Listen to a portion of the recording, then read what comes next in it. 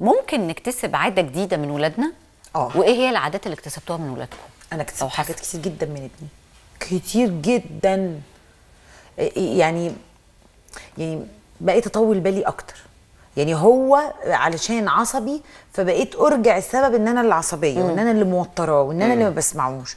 فبالي بقى طويل قوي؟ يعني ما كنتش كده أنا اتغيرت أيوه بس. لقيتيه هو عنده شخصية حاجة معينة في شخصيته دقيق آه فتعودتي عليها منه دقيق يعني عنده دقة كده ولو في- عايز يعرف معنى كلمة آه. حاجة بتاع يفضل وراها وراها مش وراها بتاع. كروتة يعني. مش بتاع. كروتة خالص وحماسي يعني حلو. لما يتحمس لازم يعمل حلو آه فأنا شوية بقيت اتعلمت الحكاية دي. منه آه بقيت زيه مم.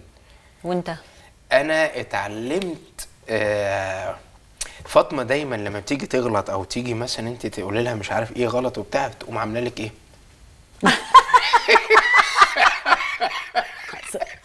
على طول فخلصت. يعني أول ما بت مش عارف إيه وتيجي تبص لها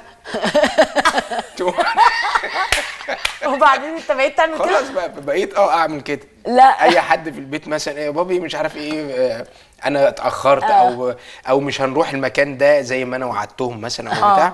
أنت مش عارف إيه فاقوم عليه. خلص. من فاطمة من أصغر واحدة.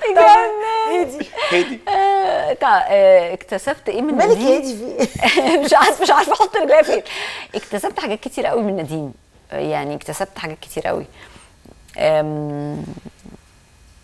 هو عنده ثقة في نفسه قوية قوي.